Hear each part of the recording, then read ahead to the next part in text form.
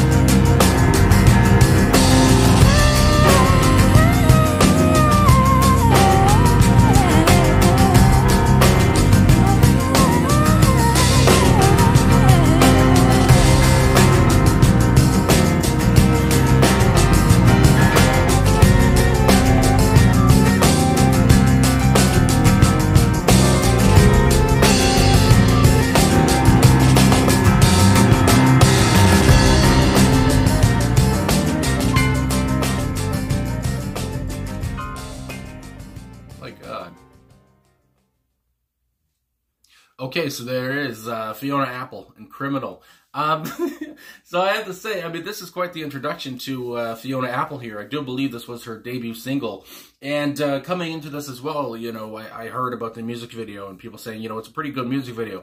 And um, yeah, so I mean, my God, you know, obviously a very uh, sexy music video here. And this is, you know, it's appropriate. Um, I mean, we're talking here about sex. We're talking about I mean, almost manipulation in a way. You know, Fiona kind of feeling regret for this. Uh, I mean, uh, just to say off the top, um, yeah, regret over, I guess, you know, playing with a delicate man's heart, basically. Uh, and I mean, yeah, good. I mean, look at her. I mean, goddamn, yeah, she could. And um, my voice is even cracking at the thought. Uh, but anyway, and I also do know that she was uh, 19 years old when she wrote this, and I guess you know, as you can see in the comments on this uh, video uh, that I watched. Uh, I guess she wrote it in like under an hour. And I mean, that's one of those things again where one of those songs that just come to you and just it, it's so easy to write. It's almost like it writes itself here. And I just, I mean, I loved her sultry voice. I mean, the sultry video as well. She's so, um, you know, it's hot. I mean, my God, you got uh, there's a guy in there as well. You have them in the tub. I mean, she's against, you know, rubbing his feet or whatever. Um, not really, guess, rubbing his feet, but her feet, his feet are there. And uh, yeah, it's just such a hot video, I have to say. And um, and it really got me into the song there too. And I mean, it's an intense uh, song. That piano is just so good. I love the you know how it's a piano driven track really. And uh, and I don't know just the way that um, the keys are being uh, tingled in a way that uh, you know really goes along with the song in such an intense way, and uh, it just really says even more than just her voice. Uh, just the instruments on this track, uh, also kind of being a little bit brooding, a little bit uh, provocative in a way. I mean, my God, it's just provocative instrumentation. good lord. Um, but yeah, and I also have to just say, you know, to put more emphasis on it here. My first time ever hearing Fiona's voice, I have not heard the song either, which is again, I'm kind of sad because what a great song what a great voice. It almost reminded me because I know this was about uh, you know the mid '90s, uh, 1996. I want to say, if I, I guess I could just look here on uh, Wikipedia, uh, released in 1997, actually September 1997, um, from her debut album Tidal. But um, I don't know, it, it, reminded me of you know someone that would come along like a Nelly Furtado, especially when um, uh, she her her voice kind of spiraled near the end of it and reminded me of uh, um, uh, "Turn Off the Light" by Nelly Furtado for some reason. Anyway, because I've just kind of been on a Nelly Furtado, uh, I don't know, uh, thing for a bit here. But anyway, that came to mind. It also reminded me maybe of like some Amy Winehouse, just these big voices from you know great female artists of the you know that would come around at this time or, or a little bit after Fiona here. And uh, yeah so I don't know just I got good vibes here altogether. And um, and again her face her her eyes I mean in the video too. I don't know if she had contacts in or what but it was just so um, entrancing, hypnotizing, everything like that. Just, just this video, I mean, just captures you really. Um, and I can see why, uh, you know, this video was, uh, I did also see, I guess, on, uh, um, Wikipedia here that, uh, the video was also, it won a MTV Music Award for Best Cinematography. And, uh, again, the video just works so well. And I also see, uh, I might as well say too, I guess Beavis and Butthead, it says this is one of the last videos they, did where they, reacted to a music video told their, revival in 2011, but uh, I can only imagine how they reacted to this video. Um, anyway, but yeah, I loved it a lot. I have to say, I love the song, love the video, and um, and again, I love the whole kind of meaning here because, and uh, sometimes I don't know she's a, a young woman at the time here, and she's talking about how she's she played with a man's heart, and uh, but she feels regret about that. It's not like she she's like oh whatever whatever. Um, but yeah, it's I don't know. I don't I didn't think she's gonna go that way where she says you know I should be you know I need to be you know it's a, in a way I'm a criminal for doing this. Uh, so I just love her whole dynamic there, the way the song went, and uh, and the you know the first line here just to get to the lyrics now I guess uh, talking about I've been a bad bad girl. I mean. my God. Uh, and then, you know, it's just, I mean, it gets you going. Anyway, I've been careless with a delicate man, uh, and it's a sad, sad world when a girl can, uh, will break a boy just because she can. It's almost like, I don't, yeah, she feels regret over this kind of power manipulation that she has, and uh, she's, you know, it's a, it's, you know, a, a, it's a bad part. You know, you think it might be a blessing, but it's not. It's a curse. Um, anyway, and yeah, just again, uh, I can imagine she probably broke a lot of men's hearts uh, over time. But then we go on to the pre-chorus here. Don't you tell me to deny it. Uh, and again, at the same time, it's like, well, it's not your fault. You might say, you know, some people are saying it's not your fault, whatever. But she's saying, you know, it is my fault. Don't tell me to deny it. Um, she's really into this. She's really wanting, um, I guess repercussions for or punishment for her actions, whatever. I've done wrong and I want to suffer for my sins. Again, just so hot. For God's sakes, I've come to you because I need guidance to be true, and I just know, I just don't know where I can begin. And then we go into the chorus, and again, I just love her voice. She has such a great um, kind of deeper uh, tone to it, and also it's so um, sultry in a way too. It's very, you know, it's sexy. It's uh, it's like honey. I mean, my God. Anyway, because I'm feeling like cr- a criminal. There we go, right there. And I, I, come into this. The only song I know of called "Criminal" really is a, a song by Eminem. And I mean, this uh, this has nothing to do with Eminem. I mean, these are two different, completely different songs. Anyway, and I need to be redeemed to the one I've sinned against because it's all I ever knew of love. So maybe it feels like maybe she almost wants to go back to this guy. I guess uh, she's sorry for you know breaking his delicate heart. Uh, but again, she, he's the only one that she only really ever knew of love with, and uh, you know, so again, there's some kind of uh, regrets there. There's a lot of um, emotions going on here. I mean, my God. Heaven help me for the way I am. Again, it's just, I mean, she's reaching out for help here, saying, you know, I hate the way I am, but this is just how it is. And uh, she wants to be you know, she, she hates that she ha- has done this thing.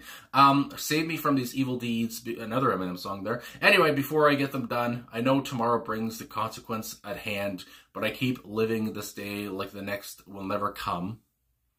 But yeah, it's almost like she can't uh, control. She feels guilt, obviously. She feels shame. She feels all these things, all these emotions. But at the same time, she can't really stop doing these things. She can't stop, you know, living this day like it's the next that will come. Whatever, it's going to happen again. These things where she uh, maybe breaks another man's heart or whatever. She just can't stop. She, she's doing these reckless things continuously, and uh, you know she wishes she could stop, but at the same time, it's almost like she can't. Um, and then we have the pre-chorus. Oh help me, but don't tell me to deny it. I love that part again. I've got to cleanse myself of all these lies till I'm good enough for him. Again, it just oh, I guess yeah, she does want to go back to him. And when she says cleanse herself, now I can't remember if she was in the tub at this point or not, but that would probably really work out well, you know, with her in the water and talking about she needs to cleanse herself and all this stuff. Almost like she's talking to like um what uh, I don't know a priest or whatever the hell. Anyway, uh, you know I've come to you know confess my sins, whatever like that. Uh, so I like that a lot. And then the chorus more time. Then we have the bridge. Let me know the way before there's hell to pay. Give me room to lay the law and let me go. I've got to make a play to make my lover stay. So what would an angel say? The, the devil wants to know. I gotta love the play between the angel and the devil, and I guess she might be feeling a little bit like the devil. Uh, the devil wants to know. Um, and then the chorus at the end again. Uh, what I need is a good defense because uh, I'm feeling like a crim- uh, criminal. I can't talk, but again, a good defense, almost like she's in court or something like that. I need a good defense because I'm feeling like a criminal, and I, I I just love how she's taken this so seriously. I mean, it's so raw and it's so honest and uh, she's so regretful. It's almost like, yeah, I should be taken to court and thrown in jail for doing this. I feel like a criminal. Um, I just love how far she's taken this to the one I've sinned against because he's all I've ever know, knew of love. What I need is good defense, and that's repeated and then I love how the last line is because he's all I ever knew of love.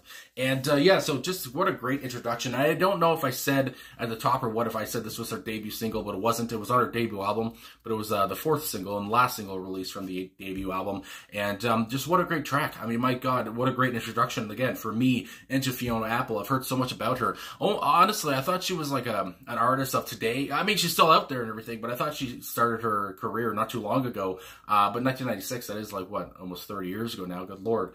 But um, yeah, and I did also want to say, I was looking at the personnel here. Patrick Warren is on the piano on this track, and I just really had to shout him out here too, because I mean, that piano was so uh, vital to the track, obviously, um, almost as vital as uh, Fiona Apple's voice. But um, I just love the way they played back and forth there. And uh, yeah, so what a great little freaking ditty here. And uh, my God, I really enjoyed this. Really enjoyed the video too. Hopefully it doesn't get blocked, but we will see what happens. Either way, um, so yeah, I guess that's all I'm gonna say. Uh, feel like I should say more, but yeah, just again, raw, ruthless. Um, she's so honest here, and the, the video, her eyes are great. I mean, my God, very uh, hypnotizing. Great piano. Uh, intensity is just uh, to the max on this one. And uh, and I, and again I love how far she's taken this you know talking about I should be you know I'm a criminal for what I've done. And uh, even though I don't think she's done anything illegal really she's just kind of broken a man's heart and she kind of wants to get back with him. And like I said just raw honest uh, she feels so much guilt and so much shame. And, uh, and, you know, again, you know, you might not always hear that. Uh, you might not always hear someone be so upfront and so straightforward about something like this. They might almost want to forget it, but she does not. And, uh, she's, you know, keeps telling these people, whoever she's talking to, uh, don't tell me to try to deny it. I did these things. I should be punished or whatever. And I don't know if that's a, um, some kind of a uh, kink or what. But anyway, love the song, love the video. So yeah, thanks for watching. Anyways, thanks for liking, subscribing, commenting, all that stuff. Really appreciate all the support. This was a great uh, introduction. Like I said, I can't say it enough. I really enjoyed the song. So um, yeah, just so sexy. Good lord. Anyway, have a good day wherever you are. I'll talk to you guys again soon.